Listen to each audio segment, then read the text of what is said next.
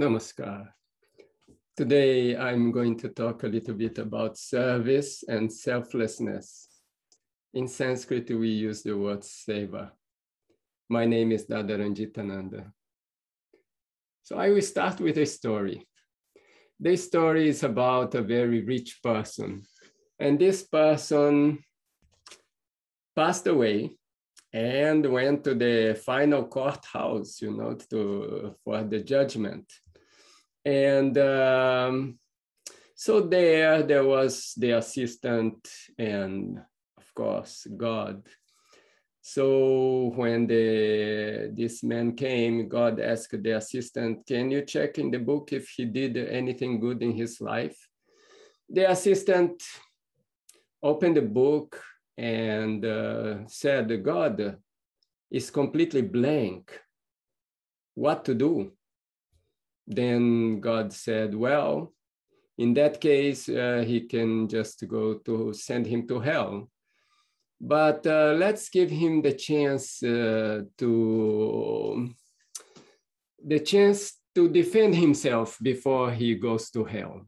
Okay, so then um, uh, this assistant asked him, "Did you ever do anything good in your life?" So he replied that yes, there was one day, it was uh, snowing very hard, like a blizzard, a snowstorm. And there was a beggar asking some help. So I gave him a cent.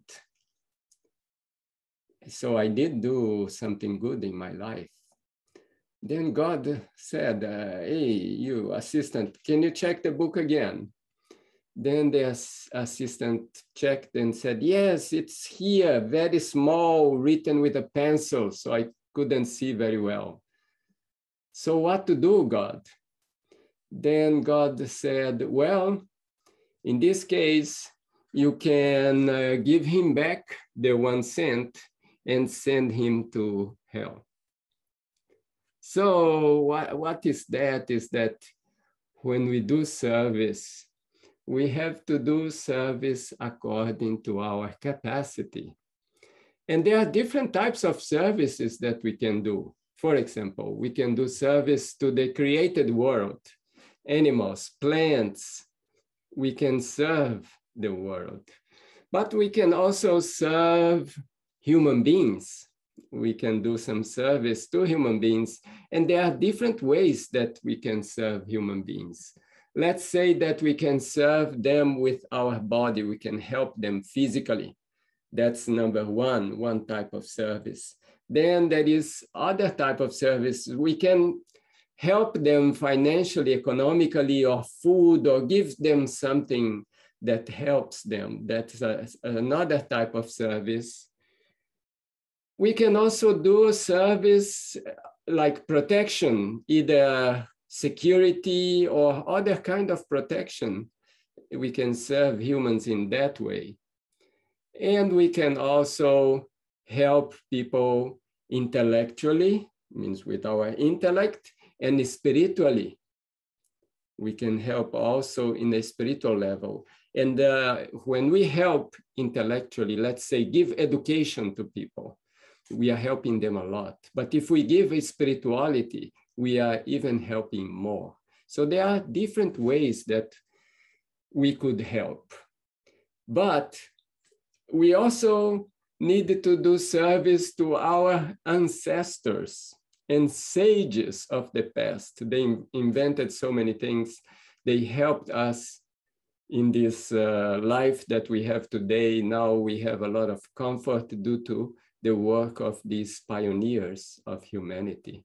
So we can remember and respect and give proper respect to them.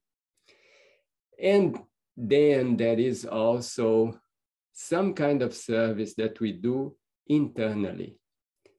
That's deep spiritual service. You are practicing deep meditation.